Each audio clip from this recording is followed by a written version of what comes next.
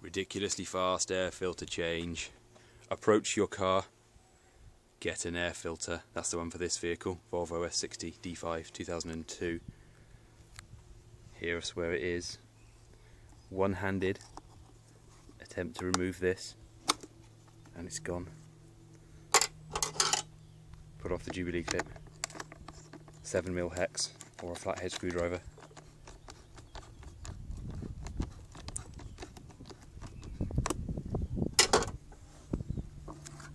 Put off the hose. Now there are clips. One,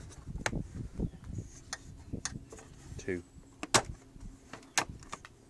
and maybe supposed to be three. I wonder if my car's missing that one. Oh well. Then pull up the cover. And you have your old air filter. Let's see how manky mine is. It hasn't been changed in a long time. That's very, very bad of me. Fairly disgusting when compared with the new one. Lots of crap in there, look. Vacuum that out. Put the new one in. And then do everything you've just seen in reverse. Thank you for watching.